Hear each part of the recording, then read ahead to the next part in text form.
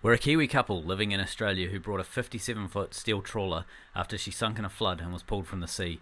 We're now bringing her back to life. We're on to the finishing jobs after working on her for the last six years to refit and get her ready for launch as soon as possible. Brupeg is rebuilt by us with volunteers funded by Patreons and viewers, and we spend every cent we have to make sure that she's ready. She's fueled by veggie oil, diesel, solar, and wind power to do research, projects, and expeditions to remote places like Antarctica and the Northwest Passage. She'll be crewed by supporters from around the world. Welcome aboard. comes like the rays of the sun she shines. We're taking you for a little walk. Come with us. We thought we'd show you some different types of stabilizers. We get some kind of reoccurring comments that we thought would be a good way to sort of clarify some of the things like, you know, why do stabilizers, why do the type that we've got and things like that. There's been almost panic in the, in the comment section this week. Some of them have been awesome.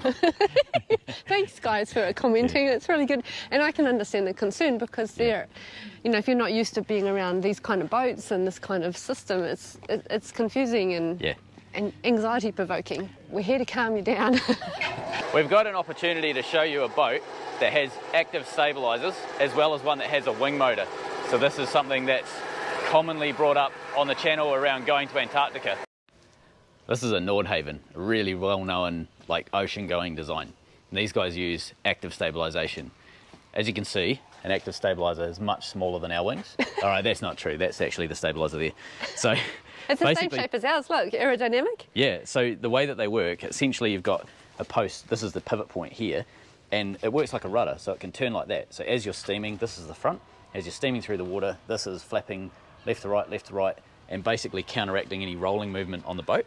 Um, they're awesome when you're steaming, but because they're physically quite small, they don't do a lot when you're anchored. So you need a secondary type of stabilization generally when you're anchored.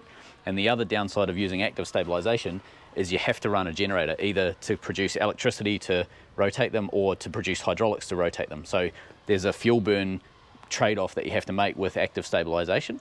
Pivot point is here, you've got this big metal plate, the pivot point's here. This is just a protection to stop anything getting caught in between the two, and, the, and it will rotate left to right um, in this orientation here, down, sort of sticking down however far they go. One other thing that's often mentioned about going to Antarctica is redundancy. People say, why don't you put a wing motor on the boat? This is a wing motor. So you've got your main prop with your main engine and everything connected to it, and then you have a completely separate and independent motor and propeller. Normally it's a folding propeller like this one here. Can see there's a mechanism in the end that allows those blades to fold right up. The downside of a wing motor like this is it's incredibly exposed and it's a thin prop. So imagine that going through ice, that's the first thing that's going to get ripped off, and then you've got a gaping hole in the side of your boat. So that's why we absolutely won't be doing a wing motor. But also commercial boats like Brupeg um, have single main engines. That's really, really common. So they're much more reliable than you'll than the motors you'll see in like recreational boats, and that's why we're comfortable doing that. This is an active stabilizer in position, so you can sort of see it's offset at the moment, rotated one direction. If I come right around the front, you sort of see looking down the length of the boat, it's tilted off to one side, and that's how they work going through the sea. They basically rock back and forth. This is the first time we've had a boat next to us where we can actually like use the space in between. Normally you've got to keep your all your gear off the other person's space, but we're sharing, so it's so nice. And of course the tup's up for the heat for working on the stabilizer at the moment. This episode, we're working on getting these sides of the boats welded in. So you can see we've got some new plates of steel um, into the side. We've already done our handrail at the top. We've got the lip going just below that where the sliders run, and then filling in the side of the boat where we've got this new steel. You can see we've blasted it and we're about to weld it in. So why stabilizers at all? Um, if you're not used to this, it can feel like a really odd thing to be putting on the side of a boat, and particularly this big, like it's a big stabilizer, and that's because we need our boat to be very strong and stable no matter what we are in, because we, we're going to remote places in the world with a bunch of people, we need to be safe. Um, this is also going to double as a place to jump into the water. We're going to have uh, cameras underneath, so we're going to be able to orientate our cameras to get some amazing footage of wildlife under the boat. So we thought we might explain why we put stabilizers on the side of Brupeg, why it's so big, and also we had some comments, uh, some confusions and ideas and even disagreements um, about how we've designed it, how big it is and all of that. So we thought we'd talk about that with you. So it's not just a random idea that we came up with and thought we'd try. it's in collaboration with an amazingly experienced fisherman um, who's designed many of them for 25 years um, and they've been tested in the wild on trawlers uh, down the southern uh, part of Australia and Victoria. Uh, and Chris got in touch with us and helped us clarify some of the design things that we needed to know about. So hence that's why it is the way it is. It's been tried and tested, but some of the details we thought we'd go over with you. Regarding the size of the wings, um, they're big on purpose. The reason being is it's easy to cut some wing off and actually make them less efficient than it is to add more on and make them more efficient. So these wings are designed so that everything from here out can be basically trimmed off um, if the wings prove to be too effective. So that's why I'm not worried about them being big at the moment. They are big for Brupeg. Um, however, we've also built them knowing that we can cut some off. Another question, and a personal favourite of mine, is will they rip off and kill everybody? Um, the short answer is no, but I'll put some more detail behind that. I do love that comment. One of my favourites. So this big plate of steel, this rusty here, this is called a doubler, and this is welded basically straight to the side of the boat. The boat's made out of 6 mil mild steel. This is made out of 25 mil uh, mild steel. So it's an incredibly stiff and solid part of the boat. The other side of it this beam that runs along here, this, this round section here, Called the chine? it's called the chine and it's one of the strongest parts of the boat because you've got that rigid sort of corner on the boat. Not only that, halfway along about here somewhere is the main bulkhead between the engine room and the freezer room. So it's an incredibly stiff part of the boat and the doubler is made long enough so that it intersects a rib um, on either side at, at each end. So this is probably the strongest part of the boat. Like it's it's almost difficult to make this any stronger. The only way you could do that is by really putting in extra tanks and things on the inside. Now, when they retrofit a boat with these wings, like a commercial fishing boat gets a set of wings, they don't do a doubler, they don't do any of this, they literally weld the um, hinges straight onto the side of the boat. They last at sea and it passes commercial survey. We've gone way above and beyond. Our hinges are massively oversized. Normally they use a 32 mil pin, we're using 55 mil. Um, normally they uh, have three little hinges. We've got two hinges, but we've got really big, solid, gusseted, um, high tensile stainless hinges. And we have this massive doubler that intersects the bulkhead as well as the two ribs. So will they rip off? Not a chance. We are going to be upgrading the, the hinges. Chris talked about piano hinges are the best because you can get them really up close. Stainless pin through hollow bar. That's that'll be mild steel, um, and that'll stop any galling up if it's if the if the pin and the and the hollow bar are both stainless, it'll gall up. So they've discovered that that doesn't work. Of course, stainless is brittle in the sense that it can just suddenly get a, a fracture or a crack and can give out, whereas mild steel is kind of um, if you can think about it as more pliable, it gives you notice when it's wearing out. So nothing dramatic happens fast, or not, not usually. So much better idea. Another common question is why use a cable and why have a pulley on the wing here mounted in this orientation? So first thing, the pulley has to be mounted in that orientation because obviously that's the way that the cable needs it when it goes up and down. And these cables here, they, they start, they move around like this as the wing goes through its full travel. You can't physically mount it that way unless you put a hinge type arrangement, which just introduces a weak point or something that can break. So doing it this way is the simplest, strongest and easiest method that we can come up with. Um, in terms of drag, it really doesn't matter. On a boat of this size, having a little panel sideways like that, you're never even going to notice it. You've got a great big flat panel here and here. Um, yeah, it, it's, it's not an issue. In terms of using cables to lift rather than something like, say, Dyneema um, or chain um, is another common suggestion. Cables are, are, universal when it comes to trawlers. Their nets are basically hauled up and down with mild steel cables, galvanized mild steel cables like this, and they just cover them in grease and they last a long time and they're incredibly strong. Uh, using something like chain, it's really difficult to get chain to go through uh, pulleys that have to go up there and then across to the top and then up to the winch at the top there. Um, so chains out, and then using something like Dyneema, that's possible, um, but there's some question marks on Dyneema that I have. I don't know how it would stand up to uh, constant UV, and I don't know how it would stand up to being submerged in salt water for months at a time. So hence I've gone with bargain basement galvanized chain that's going to be greased because that's just what every fisherman in the world would pretty much use, and it's it's just a really well-known sort of method. This is plate ready, the plate's ready to go in, it's fitted and everything. Dame's going to do that welding this afternoon. We're putting um, plastic in here, uh, so Dame's got to attach those uh, so that there's less friction, less noise. less squealing. They're very loud when they go up and down. I love my handrail, my vertical handrail. It's brilliant. Um, so just so you know, if you can just look straight down there, you can see how big the holes are for the pins. It holds the the arm solid. It's not going to go anywhere when it's down, and when it's up, it's it's attached. You can see there's a couple of little flats that have been welded there as stairs. This is so we can move up and down them. So we're while we're working on them, we're actually going to do bent bar and make some lovely handrails that um, double as steps. You can pull yourself up when you're they're down. If you're diving, if you're going for a swim, uh, so we can walk up and down the arms. A common question we get is why not put a lifting point right in the middle of the arm and pull directly from the centre here? And there's a really simple reason for that. It's all about physics. If you're up the top of the sliders where we are now and you imagine pulling directly from the top of the arm, vertical, that wing will come in and it'll come in about 80%.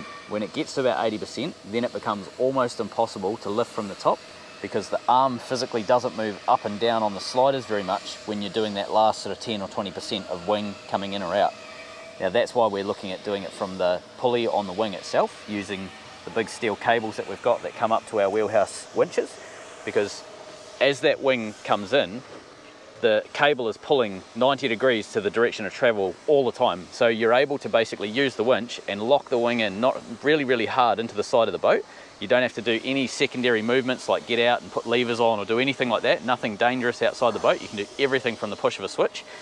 If we were to do it from the top of the arm, we'd be able to bring the wing up to about say 80% and then we'd have to physically, we, we wouldn't be able to put enough force on it. It would be infinite amount of force needed because you're only got about quarter inch movement on top of the arm to do the last sort of 10 or 20% of, of wing coming in. You'd have to have a secondary mechanism. So it could be like um, a lever or it could be sort of another set of pulleys or blocks or something to pull it in. So by pulling on the wing, it's a much more safe way of doing it and it's also a heck of a lot more rigid.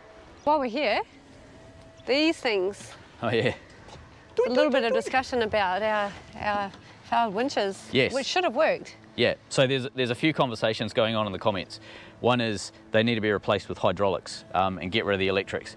You're absolutely right. They need to be replaced with hydraulics and we need to get rid of the electrics. However, we're coming up against the same challenge that we had a year ago when we put these on. To do hydraulics, it's looking like it's going to be about five to six thousand dollars for us because we need either two winches, one for each wing, um, or two rams and a whole bunch of pulleys and blocks and things, one for each wing, um, and a hydraulic power pack to run everything. All up, that's about six thousand dollars worth of gear. Um, so that's a huge cost impetus for a project that runs on a shoestring. These winches were 500 bucks each. Now, admittedly, they are cheap. They're not great quality, as evidenced by this. Um, however, there's theoretically no reason why this solution couldn't work and an electric winch couldn't work. It's, it's normal to have electrics out in, out in the open. Think about radar, is always electric. It's most yachts have an electric anchor winch. Not open like this, of course. Slightly more waterproof than this. A little bit more, The cap would be on and it would be a little bit more sicker on them maybe. down. So but we were also going to build boxes to Yeah. protect them a bit, weren't we? The plan was like a stainless box over the whole thing to protect it. However, if these can't handle rain and a little bit of yard dust, there's no way they're going to handle sea air inside a stainless box. So these winches are garbage. I get that. Um, however, it's a it's a cost thing basically. Running hydraulics to the roof on the wheelhouse is expensive, difficult. You know, there's issues if anything fails. Electrics are really simple. It's just cables up here. It's no big deal. We've got enough electricity on the boat to run these sorts of things, but it's more a case of can we find something that's strong enough to do the job. Um, these are 5,000 pound winches, and the load on this cable is very, very little. The load on this cable is less than 200 kgs, so got no idea what that is in American units. Um, electric is a simple solution, but I'm struggling to find a winch that's up to the job. Um, hydraulic is, is absolutely the best option and would be the right thing to do if you're setting this boat up as a, like a commercial fisherman or something like that. But it's an incredibly expensive um, solution for us and one that we're really struggling to kind of finance because it's, it's a huge cost impetus right before we try to launch. That's why we went uh, electric in the early days, um, and that's why we're struggling to make the decision to go to hydraulic now, mainly because of the cost. But these right now are turning into our manual winches. you know, drill on there, fine. So we can pull these arms up and down, which is, we were thinking of a, a yacht winch and there are a few suggestions in the comments, thanks guys, for a yacht winch, similar sort of thing. It's just, it's just something to lift them up and down that we can. I'd like to go to a proper um, manual yacht winch eventually. Um, for now this will do. Uh, whether we go hydraulic land, whether we go whether we go hydraulic rams, Adrian. Thanks for the suggestion. Uh, or um, hydraulic winches on the side of the boat, something like that. Uh, we're just we're just coming to terms uh, and facing the facts that we have to. we just we have to. So we'll find a way. Uh, we'll keep you updated. But thanks for your suggestions, guys, and I hope that clears up a few queries. For those who don't know Brupeg very well, uh, we are we are a dark boat, but the decks are actually painted a light colour to reflect the heat. I suppose an overall question, why do stabilizers on a boat like this? So yachts don't necessarily need stabilizers. They've got sails and they've got a keel. And if you say you're in a couple of knots of breeze, you can put the mainsail up and it'll act like a stabilizer. It just holds a wee bit of pressure and the boat doesn't rock and roll too much when you, um, you know, the motion against the hull. Motorboats are different. They don't have anything like that. They've got a slightly higher center of gravity. They generally don't have a keel or um, you know anything low down like that. And they don't have sails that are going to dampen any rolling effect. So they do roll around a lot more than say a, a normal average sailboat. Um, Like you- that one. Like that one. Keel, sail. Well, rig with a sail. Back to you. Back to you. Live from the studio. So having having stabilizers on a motorboat is um, quite common. Having them on fishing boats, they normally they have great big arms on fishing boats to haul nets, and then it's common for them just to drop paravanes off the end of those because they've already got 90% of the gear they need. They just put a you know, couple of pulleys out and it's done. Um, we don't have any of those arms. We wanted to when they fold up, they're very tall. We wanted to keep the boat as low as possible. So having stabilizer wings like we have is um, probably the best possible option that we could do, um, given everything uh, all of our variables and things like that, and it's going to keep the motion of the boat nice and stable. Now, the difference between having stabilizers that are too effective versus not enough, if you've got them too effective, the boat stays too flat and waves will literally roll over the boat. If you've got them not effective enough, the boat will lurch and carry on. It's a really uncomfortable motion at sea.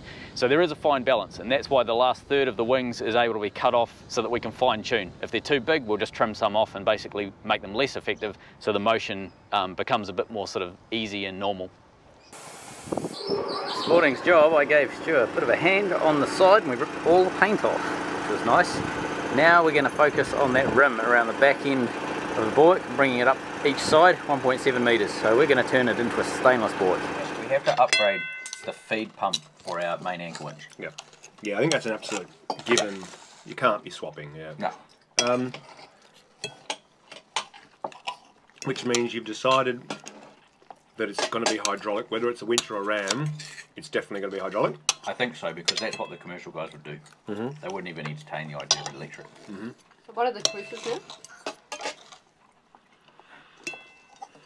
We do. I think we settled on hydraulic over electric, mm-hmm. and the options are basically um, a version of a ram or a version using a hydraulic winch. The trouble with the roof is you've got it. you just described to you this morning how many bulkheads you need to go through Yeah, to get hydraulics onto the roof. a minimum of three bulkheads. So that means every bulkhead has two fittings. So that means six possible points of leakage hmm. to get a hydraulic line to the roof. Oh, it's a lot. And you've got to do two hydraulic lines. So Unless you had a remote start power pack on the roof. So all you do is have air cooled little thing. air cooled, yeah, maybe make it like your generator, make it diesel rather than petrol. Yeah, Goes in a box, yeah, right. and all it does is have the only thing bolted to it, like, like yours is diesel engine with a generator attached. The trouble is though, is that then you have to maintain a diesel engine. Well, So what? What's the best, what's the best idea? So, so where my head's at is getting a hydraulic winch, sinking it into the hull, and having a either a two to one or a one to one directly connected to the wing, and then having a hydraulic feed pump powered somehow. I haven't solved that bit yet, but powered somehow because we'll use it for the anchor winch as well as the wings. It won't be powerful enough to run something like a bow thruster, but it'll be powerful enough to run all of our winches. Oh my god, that was so good. Now me get the perfect mouthful. I figure if we just start with this side here, just template that up. Um, basically, just needs to sort of weld into there. diagonal, yeah. Yeah, weld into there like that. Um, and then just because there's no lip or anything, so you can just go straight to this corner. So I was just going to do something like that, and we just have to get rid of that. We have to drop it right down. Uh, yeah. See what I mean? Yep, I do. So can I give you that one? Sure. The scissors there to go. Um, right, I'm going to make a start on getting this bit trimmed up with a grinder. Sure. Now that Stu's got the template marked out, we've got a basic shape to cut, and he's got, this is the beauty of templates, you can sort of see he's got these little weird shapes and stuff at the bottom there, and by doing it out of cardboard, it's a piece of cake to get that shape, and then transfer it directly onto the steel. While Stu's doing that, up on the wing, up here, I've got this plate. You can see here, we've got a weld line running along there, but this is actually a slight difference in angle between this plate and this plate. So I've cut through about maybe 90% through this plate here and actually just bent it in, and then we'll get dogs and we'll get this to line up. So this and this will match that and that. Um, and we've tapered it off to nothing at this end, and we'll just blend the whole lot in where we weld it.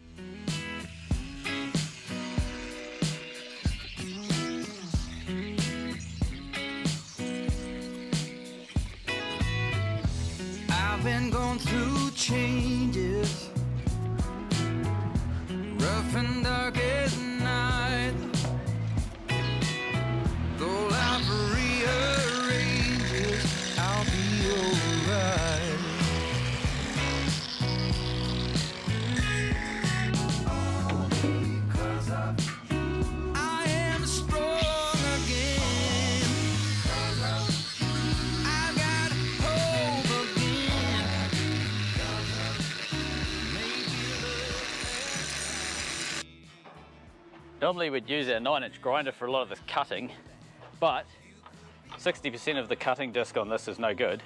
So we tried obviously undoing it. There's a reason it's sitting in the vise. We tried undoing it and we just could not get the damn thing loose. Um, it fell off something, hence this is broken. It fell off something and um, when it landed, whatever happened, this here tightened with the force that Luke used in all of those popular TV shows. So I don't know, about 80 foot pound or something like that. Is it fitting? Well, the, the bulwark sort of does a bit of a curve. Yeah. Um, We'll be able to dog a lot of that out. yeah. Yeah, it fits. Cool. It's a, it's definitely a fiddly one. Yeah. We'll just we'll, we'll tack each corner and basically bend it with levers and stuff. Yeah, and then just a little, this little bottom thing might need filling up somehow. That's okay. I could do that with MIG. Based on the fact we're getting about 30 knots across the boat, we're going to be flux core MIG today. Crikey, we're getting a bit low on that. okay, we're going to start off flux core MIG and then we might be progressing to stick when we run out of wire. I'm giving up trying to record voice audio because it is like 25 or 30 knots up the top, maybe 15 we were trying to weld.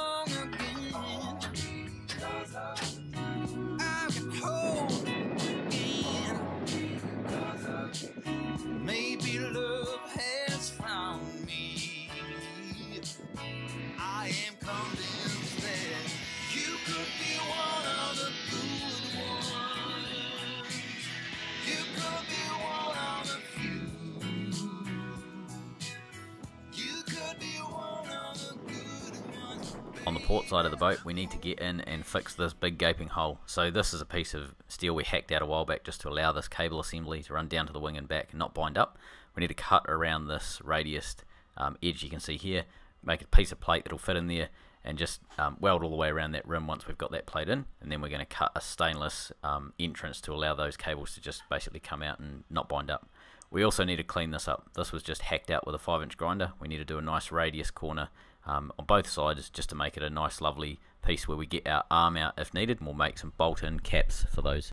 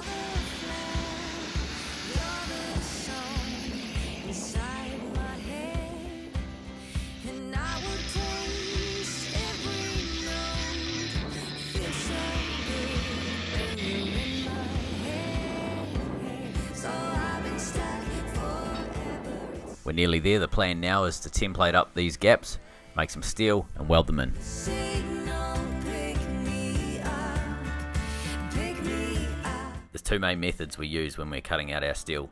If we've got a complex shape like an oval, in this case, we use the plasma cutter, we template them up, and then gently run the plasma around, and that allows us to get any weird undulations in the shape out into the steel that we need.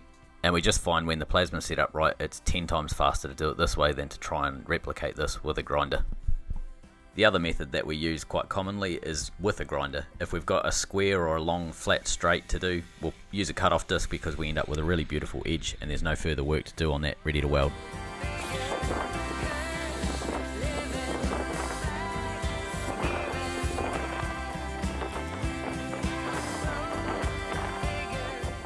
Once we're happy the piece of steel is going to fit the gap, it's time to clean up the edges like you can see here with a grinder so that we're ready to weld. For those that are not familiar with our bender, this is something I made a while ago. It's a piece of um, just a bit of scrap steel, 150 mil across in this dimension, 32 mil uh, solid mild steel pin. I've got a bit of uh, 16 mil steel welded onto this slab here, and then under all of that I've got a piece of 50 by 50 box section just welded so I could clamp it in the vise and it holds on nice and tight. Now, what I can do, take a piece of solid 16 mil stainless, you sort of see it's quite chunky. We lock that in there, and then we get this piece here, which is our actual bender itself. So this part slides onto the uh, 32 mil mild steel pin, and then this part here does the work and actually wraps around, wraps this piece of metal around the pin and back out that way. So we can get a 32 millimeter ID, and we can create links of chain, or we can create long lengths. Um, this is what we're using to allow the, uh, the cable to go out the side of the boat so that it never touches mild steel and it always hits stainless.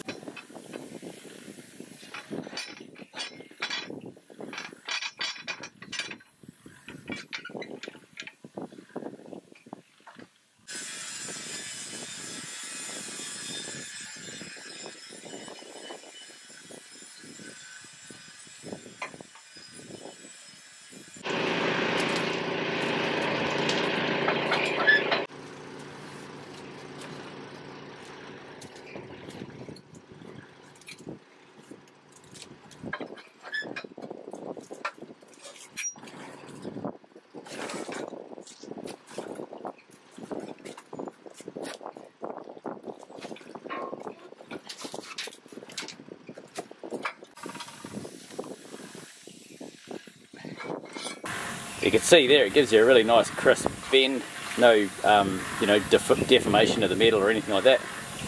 Yeah, that's how we get all of our um, openings in the hull, made with 16 mil solid stainless bar. With our plates and parts now made, it was time to start tacking everything into the respective areas on the boat.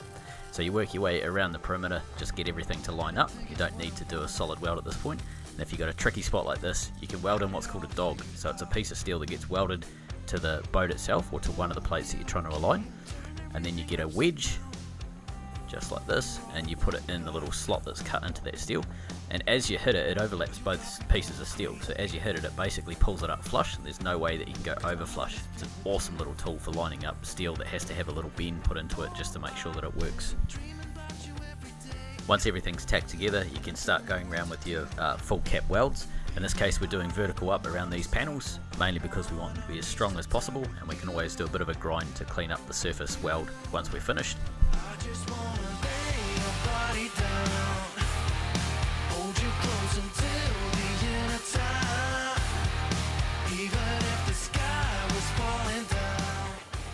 Now that we've got the plates welded in, we can get our stainless hoop that we made and start sizing that. So easiest way to do that is just put it on the outside, draw around it, and start cutting with the plasma cutter. It might take a couple of goes sometimes to get this to fit, but it's a really simple method of putting a weird shape into a flat piece of steel. Baby,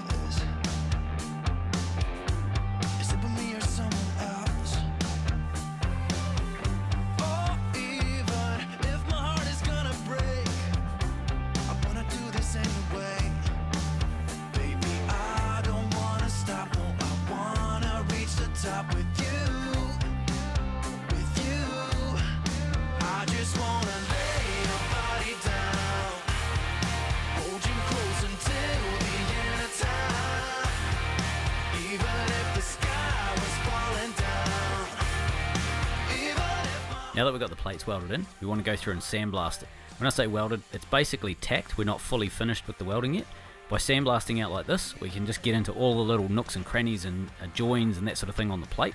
When we're welding, we now know that we're going to be welding with perfectly clean steel.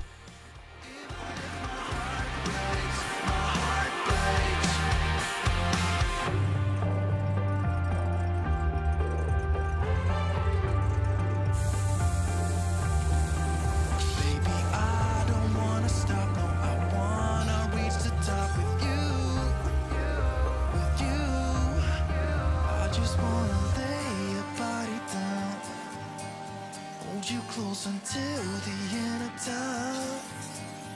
Even if the sky was falling down, even if my heart breaks,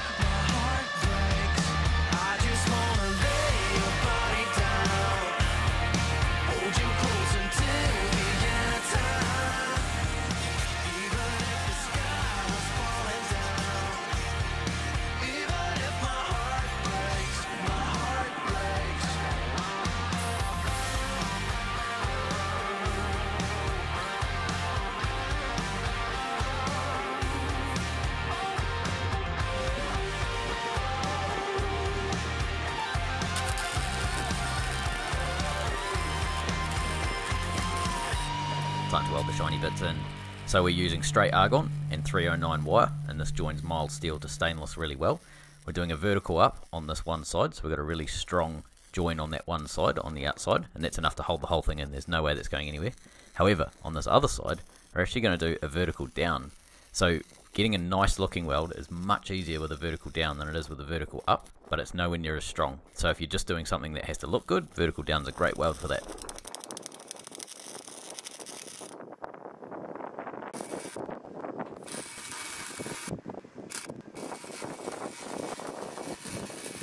Now that we've finished the stainless welding, we're back onto mild steel only. So we're using a flux core wire with an argon and oxygen gas mix. And we're just filling in all of the welds that were sandblasted yesterday. Now that we've got really clean, easy steel to weld, we just vertical up everything that needs to be nice and strong.